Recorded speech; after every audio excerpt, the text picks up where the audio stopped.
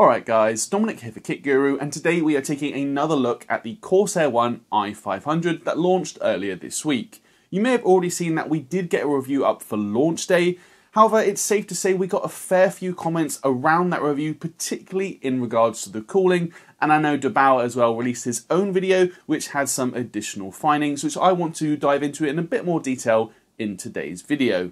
Today then, I'm going to show you all of our in-depth thermal tests along with new data such as GPU VRM thermals, fan and even CPU cooler swaps so you can see all of our findings in more detail.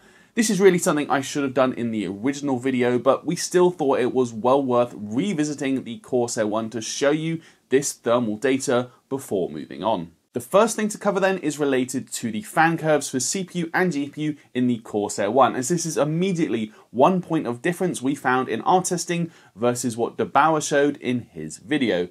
So in his video, der8auer said that about halfway through, he actually got a fan curve update from Corsair which adjusted fan behavior. As it turns out, my sample shipped with this update from the very beginning, so all of my testing was done with that update already applied, and that likely does explain a fair few thermal differences. For instance, der8auer initially showed idle fan speeds of about 1400 RPM for the CPU and about 1000 RPM for the GPU, resulting in high idle noise in his video, whereas I saw idle fan speeds of around 700 RPM for both CPU and GPU, and like I said in the video, I did find it to be pretty quiet while idling. The different fan curves likely can also explain other thermal differences we saw when running Cinebench R23, where der8auer showed his CPU around 95 to 96 degrees on the package, whereas in my version, after a 30 minute stress test, the temperature was only between around 83 to 86 degrees. So a fair difference there, and again, that could well be down to the different fan behavior. On this topic as well, it is a fair criticism that there are no user adjustable fan curves with the Corsair one. I did mention this to Corsair and they said they are working on implementing different profiles like you might get with a laptop, so like a quiet mode, a performance mode, a turbo mode, that sort of thing. Uh, they said that will be coming in a future update, but we have no idea when that will be, and it's still early days for this system, but we will endeavour to check that out as and when it happens.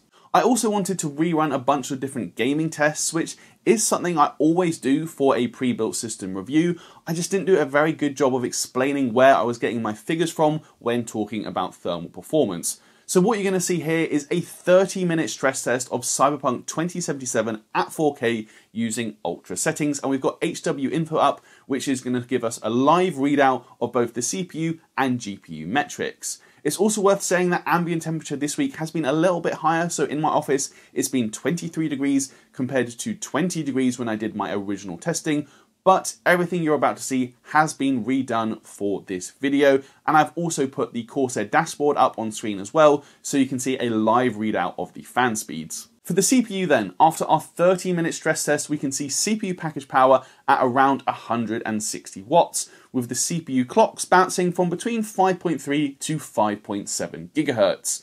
No doubt about it, this CPU is running warm, but it is remaining under 95 degrees, though earlier in the run you did see it did peak at 95C. The CPU core thermal throttling indicator has flicked on during the test, but considering the CPU is still clocking well over 5 GHz as we saw, the performance overall does look fine. As for the GPU, this is really no problem. Package power is showing a touch under 380 watts, but a GPU temperature of around 62C and a hotspot that's about 10 degrees higher is a very solid result for a 4090, and the same goes for the memory thermals of around 82 degrees. You can also see that those system fans are close to 2000 RPM and from a 30 centimeter distance that sounds a bit like this.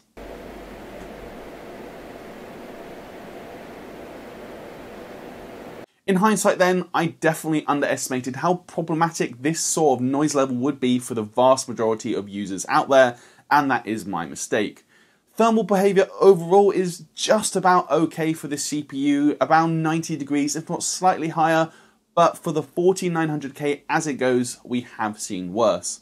Clearly though, the CPU fans and system fans running at full pelt is a big reason as to why these thermals are just about in check, and if you are spending £4,700 on a pre-built system, it is safe to say you're going to want a cool and quiet experience and there's just no way the Corsair One will give you a quiet experience as the high power components in the diminutive chassis just means those fans really have to spin up, though we will test swapping them out for 25mm thick fans later in the video. That does, however, lead me on to my second point about the fans and their labelling. As you might have seen from der8auer's video, he suggested that the fans were maybe plugged in incorrectly as the labelling within Corsair dashboard didn't make a whole lot of sense and I did my own quick experiment to find out exactly which fan was which. So I'm just going to quickly check if the fans match up to what we saw in the der8auer video and see if they are, I guess mislabeled is probably the, the best thing. So first of all, I'm going to stop this one here. And as we can see, that has stopped CPU fan 2. And I'll get that one going again. Whereas this one on the right, if I stop that, that stops GPU fan 2, which does seem a bit odd. And there's this one at the bottom. I stop that. And now we've stopped GPU fan 3. We've got these two fans on the top as well. They're obviously exhausting through the 240 millimeter all-in-one that is used for the GPU. If I stop this one here on the left, that stopped CPU fan one. And if I stop this one here, that stopped GPU fan one. Based on that clip then, the fan labelling doesn't seem to make a whole lot of sense, and I did reach out to Corsair about this, but they actually said a pretty interesting thing, and I'm going to quote them directly, so I'm just going to pull up my notes. They said that the fan labeling is based on location of airflow rather than where each fan is connected to which AIO, and that it's not a mistake with the assembly of the system. To see then if it would make any difference if we switch the fan connections around, that's exactly what I did, just unplugging them and replugging them as you can see here. And just to try now, as you can see here by the slightly messier cables, I have now switched it. So both fans on the top, these are both now labeled as GPU fans, whereas these two fans here are both now labeled as CPU fans. And we're just to test it, see if that makes any difference to thermals. As it turns out, this is a complete non-issue as we saw CPU thermals were still in the mid to high 80s during 30 minutes of Cyberpunk 2077 and we again saw the same peak of 95 degrees during the test. The GPU also showed basically no difference in thermal performance and as you are about to see and hear, noise levels were also unaffected.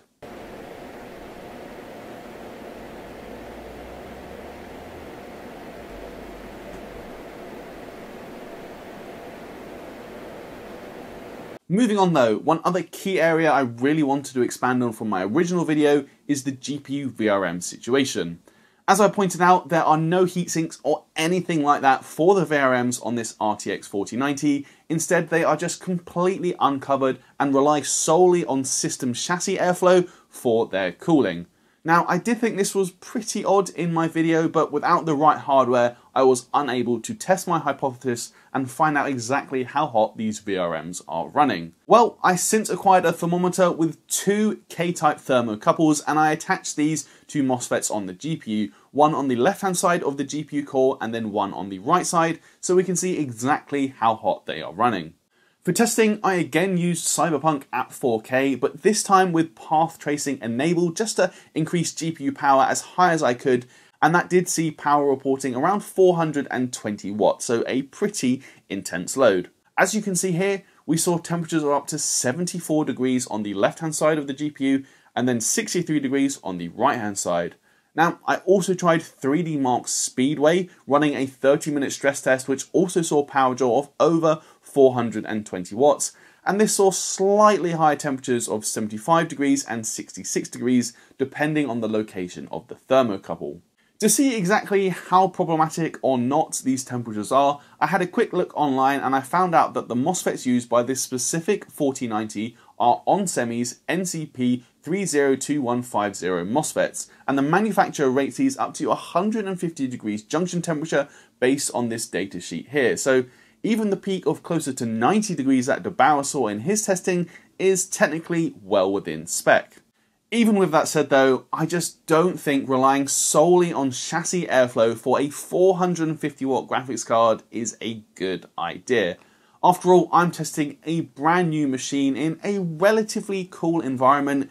Give it a year or two to get nice and dusty. Maybe you're in a hotter ambient environment, and what if the lower fan fails and you don't realize it?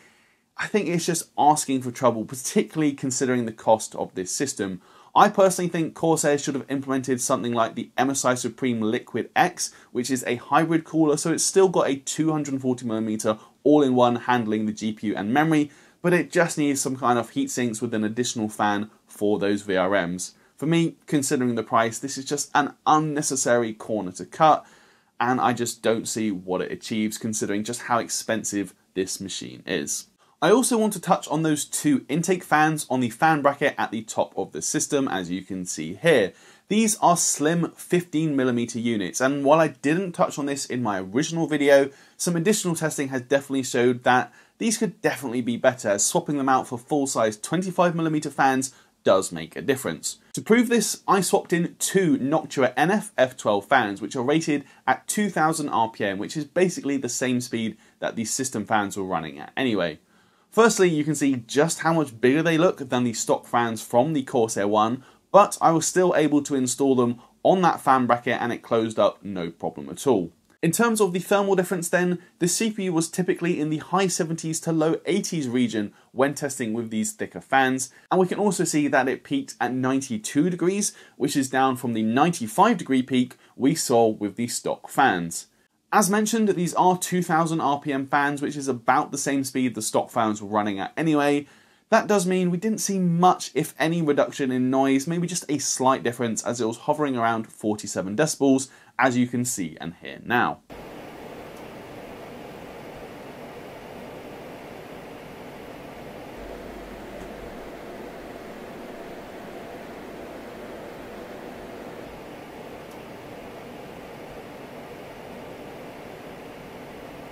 In a similar vein then, I also wanted to see what difference it would make if we use an entirely different CPU cooler. So I took der8auer's suggestion and grabbed a Noctua NH-D9L. I did actually want to try the U12A, but it was just slightly too large, so I settled for the more compact option. Even with those same 25mm Noctua fans installed and the NH-D9L cooler, I actually saw worse thermals than with the 120mm all-in-one.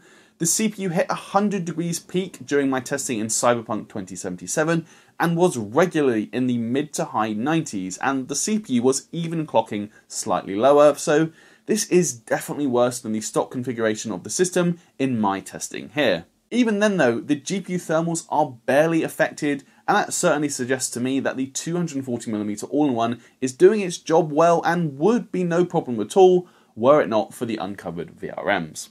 Overall then, based on the data I have shown you in this video, I personally think it's safe to say that the 4900K being cooled by the 120mm all-in-one with slim fans is technically okay, largely thanks to the CPU's 200 watt PL1 power limit, but it's definitely not a good solution considering it is still tragically loud and the CPU temperatures are approaching 90 degrees, if not higher. Now, I personally can't see Corsair ever using an air cooler in the Corsair One. I think for them it's probably just a lot easier on a mass scale to install an all-in-one liquid cooler instead of a air cooler, and it also takes up a lot less room on the inside of the system. However, my question to Corsair would be, why not a 240mm all-in-one with proper 25mm fans? That would significantly improve CPU thermals, likely also reducing noise levels, and there is definitely space for it on this fan bracket. So to me, that does just seem like another corner has been cut. Just before closing out this video then, I do just have two more points I want to mention which are a bit random, but I did see a few comments so I wanted to clarify a few things. The first then is in regards to iCUE.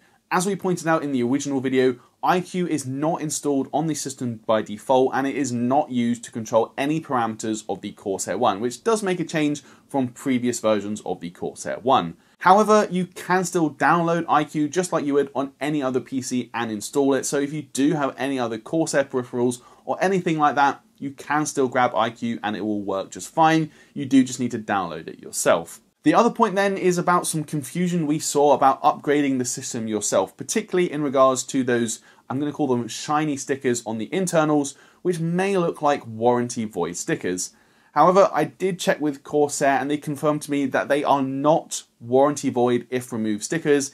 Instead, they are purely indicator stickers for their RMA team. So if you send the system back, they just quickly know if it's been opened up or not. I checked with Corsair again, and the system has primarily been designed for upgrades to the storage and the memory, and you will not void your warranty if you do open up the insides of the Corsair One to install a new SSD or swap out the memory or anything like that. So, just wanted to clear that up. So that is really going to do it then for this revisit slash extra testing slash follow up to our original Corsair One i500 review from earlier in the week. After we saw a bunch of your comments on the original video, I just wanted to make this so you can see all of the testing we would normally do for a pre-built system review, and then also do a bunch more testing like the GPU VRMs that I wasn't able to do in the original video. It's safe to say then from all the testing we have shown in this video that the Corsair One definitely could improve in regards to its cooling, particularly with the CPU.